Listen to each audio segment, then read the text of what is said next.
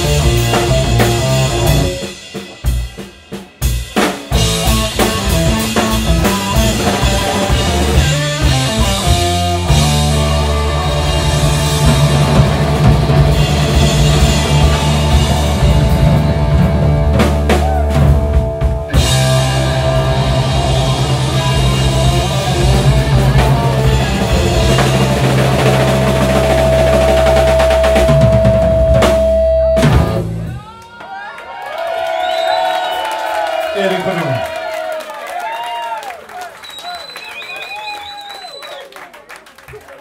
Erik på trommer!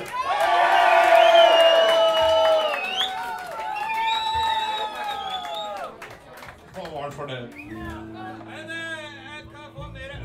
Nei, ikke gi ham mer øl. Vi har opptak fra Bergen, så han skal ikke ha mer øl.